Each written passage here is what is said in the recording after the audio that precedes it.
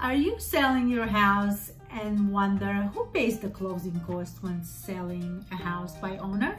That is absolutely awesome because that's exactly what we're talking about today.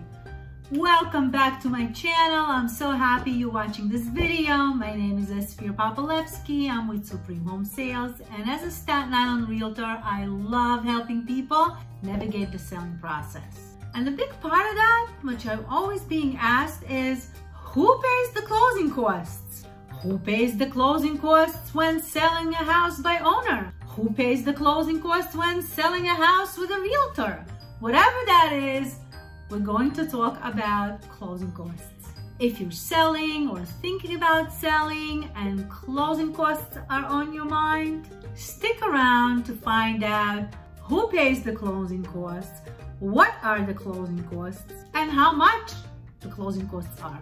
I'm going to be hitting you with some numbers today. I'm also going to help you calculate the closing costs. Are you ready? I am. Once you accepted an offer on your house, you're expecting a huge profit, right? And then comes all of these closing costs. Unfortunately, when you sell a house, you gotta pay closing costs. So as a seller, you have your own closing costs and the buyer has their own closing costs. Some of the costs are identical and some are different. So let's go over what the closing costs are. Here's a big one. Let's start with transfer taxes. In New York, we have two transfer taxes, the New York City transfer tax and the New York State transfer tax. Now that's a pretty big hefty bill out of your entire closing costs. So let's start with the hefty bill on your closing costs, which are the transfer taxes. Every time we sell a house, uh, we're talking about our primary residential property, okay? Every time we sell a house, we pay the transfer taxes. In New York, we have two transfer taxes. One is the New York City transfer tax and one is the New York State transfer tax. I would like to see if you can guess which one, New York City or New York State, is the more expensive transfer tax. Comment below, let me know, but we get to it soon. Then you have your attorney you cannot sell or buy a house in New York without an attorney because we're an attorney state. And then you'll have your recording fees to record the deed and record the sale in the county clerk's office. The general rule of thumb to calculate closing costs kind of breaks down to two categories. Sale under 500,000 and sale above 500,000. When you sell a house, under 500,000 or just about up to, which I like to always say $499,999. This will put you in under 500 and the taxes will be calculated. New York City tax would be 1% of the sale price and the New York State tax would be 0.4%. That's how you would calculate it. So if you guessed right, I hope you did, I should find your comment below. Anyway, once you sell your house 500 and up, that's where things get a little bit more expensive. Now the New York City tax goes up to 1.4% and the New York State tax goes up to 0.425%. Keep in mind that these numbers work up to $2 million.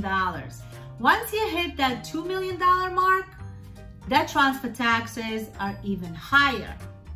If you want to know exactly what they are, I did a video about closing costs for sellers selling your house on Staten Island. You can watch that next right there. Your attorney fee would probably run somewhere between 1,200 to about $1,800 for the attorney services. The attorney will take care of issuing a contract to the buyer's attorney on your behalf, making sure that your terms and price and conditions are met and are working in your favor. The attorney will also facilitate any types of title issues that might come up on your behalf.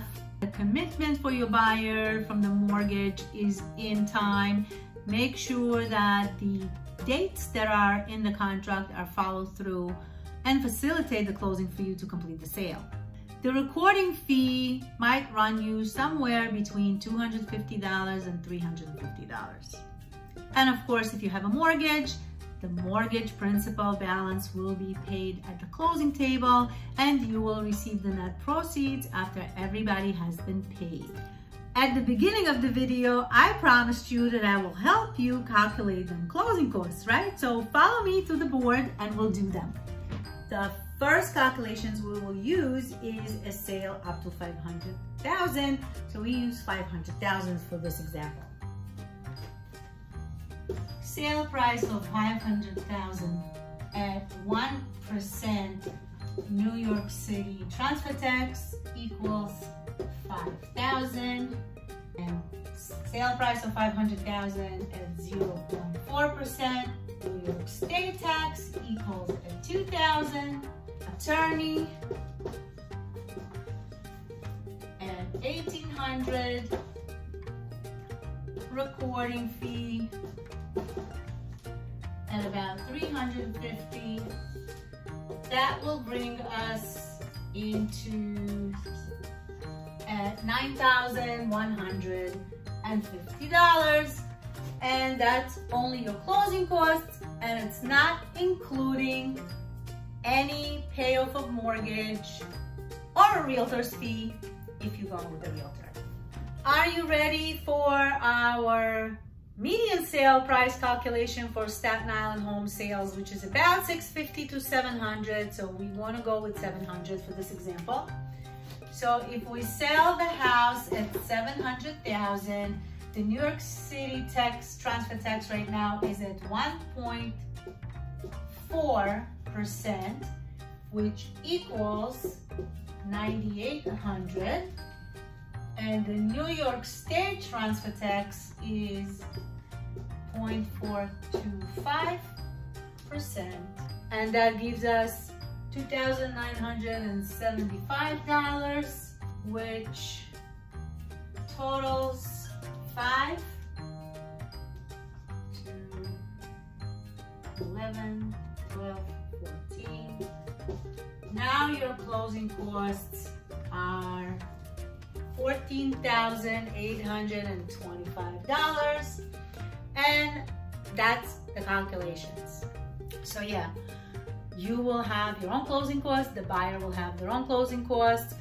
Uh, buyers don't have transfer taxes. What they have is title policy and what they have is a mortgage tax if they are using a mortgage to purchase the property. The attorney fees and the recording fees are the same for the buyer as well. So if you really think about it, the closing costs uh, are pretty much aligned on both ends. Of course, the mortgage tax is kind of expensive. If you're thinking about selling your house and you want to sell it by owner, I did a video about how does a for sale by owner work on Staten Island. You can things you must do to sell your house. You can will give you uh, really good information. It will help you to set yourself up for successful sale by owner, selling your own house. Thanks for watching and I will see you on my next video. Be sure to subscribe, click on notification bell, make a comment, ask a question.